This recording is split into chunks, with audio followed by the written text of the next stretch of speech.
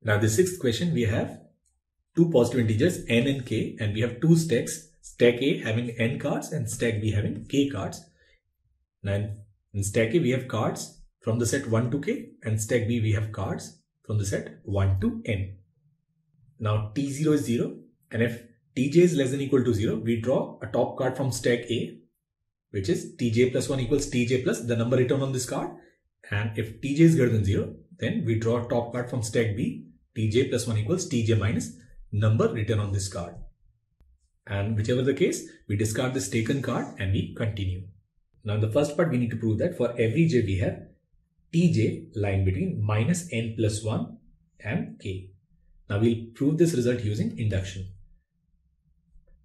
Now if we look at t0, t0 is 0 and 0, it lies between minus n plus 1 and k. Now let it be true for tj. That is tj, it lies in minus n plus 1 to k. Now using this we'll prove tj plus 1 will also lie in this interval. Now we'll take two cases. Case 1 when tj it lies between minus n plus 1 and 0.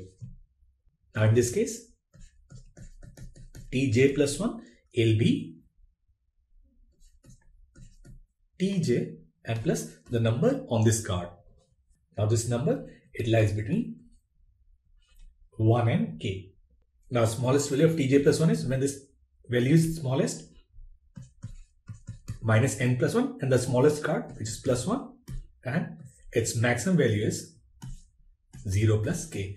So this tj plus 1 it will lie in minus n plus 2 and k which lies in minus n plus 1k which proves our result. Now we take the second case when tj it lies between 0 and k. Now here tj plus 1 it will be this tj tj minus n and here this n it will be a card from 1 to n. Now the smallest value of tj plus 1 is when ti is smallest which is 1 and n is highest, so it will be 1 minus n. And its highest value is when tj is highest, which is k, it is 1. So this tj plus 1, it lies in the interval 1 minus n to k minus 1 and which lies in the interval minus n plus 1 and k. So for both the cases, this tj plus 1, it is greater than or equal to minus n plus 1 and less than or equal to k. So from induction, we can say that this is true for every j.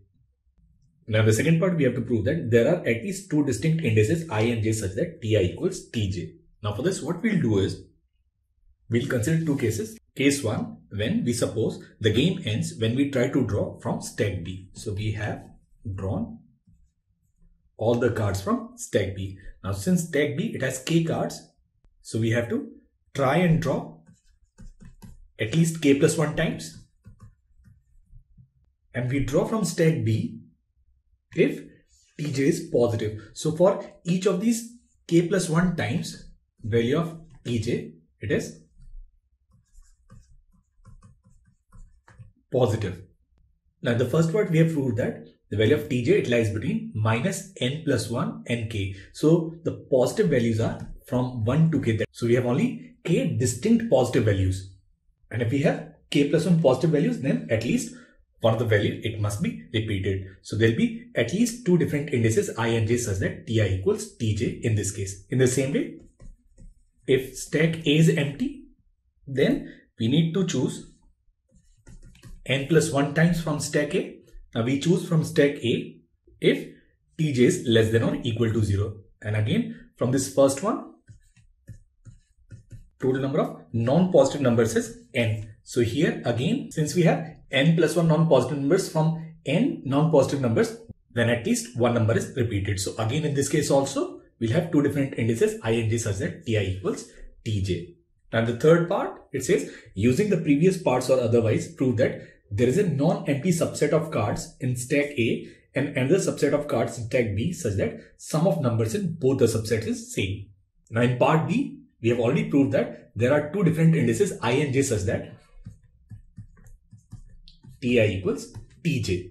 And in between these steps, either we add the number written on the card in stack A or we subtract the number written on card in stack B. And since these two indices they are equal, it means that the set of cards drawn at i plus 1, i plus 2 up to j, it must be 0.